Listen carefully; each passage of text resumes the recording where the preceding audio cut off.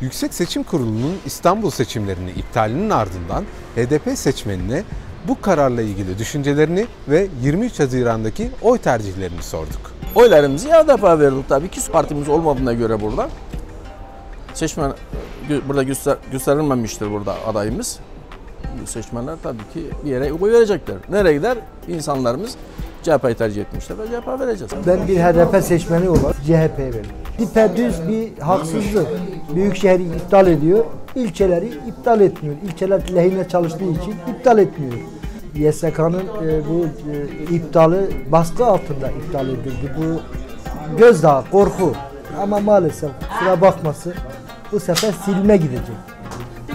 Vermeyen de verecek. 31 Mart'ta oyumu CHP'ye verdim. Hani İstanbul'un ilçelerini de iptal etmiş olsaydı o zaman vatandaş olarak diyecektim ki hakikaten seçimlerde bir yolsuzluk var. Olayı bundan ibaret. Ama 4 tane oy kullanılıyor. Bir zarfa 4 tane aynı zarfa kullanılıyor. 3 tanesinde bir şey yok. Sadece Büyükşehir Belediyesi'nde. HDP verdim oluyor, CHP verdim oluyor. Ben oyumu eee Ekrem İmamoğlu'na verdim. Eee, değişmeyecek benim oyum.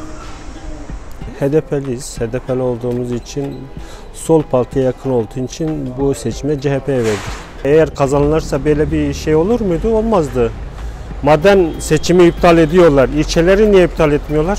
e, dünya görüşü, insanlara bakışı, hizmetkar biri olduğu her halinden belli. Onun için oyumuz İmamoğlu'na. Vallahi eskiden tanımıyordum ama güzel bir insana benziyor. Yani önü açık gözüküyor. Ben İmamoğlu'nun geleceğin başkanı diye ilan ediyorum. İlan ediyorum. 2024'te Ekrem İmamoğlu Cumhurbaşkanıdır. Kesin.